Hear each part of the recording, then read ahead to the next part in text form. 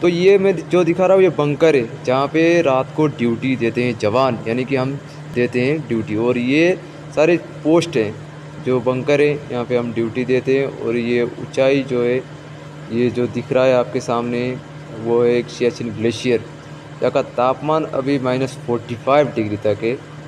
और मैं आपको अभी बताने जा रहा हूँ, ये जो हाइट है, जो ये आप दिख रहे हैं, ये ग्लेशियर सियाचिन जहाँ का टेम्परेचर 45 डिग्री है, जहाँ चीन भर में हाथ बिगल जाता है और जो अंडे होते हैं वो उबाल के नहीं खा सकते।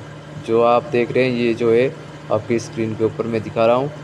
और अभी हम इधर आ गए, फिर हम थोड़ी देर बाद यहाँ से ग्लेशियर जा रहे हैं। तो यहाँ का टेम्परेचर भी कोई कम नहीं अभी मैंने देखा आप लोगों ने क्या स्वेटर और माफलर और ये लगा के ठंड में मैं हूँ अभी।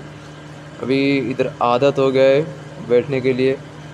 तो दोस्तों, ये काफ़ी हैरान करने वाली बात है क्योंकि यहाँ छिन भर में बर्फ़, सुबह बर्फ़ गिरता है, शाम को बर्फ़ गिरता है।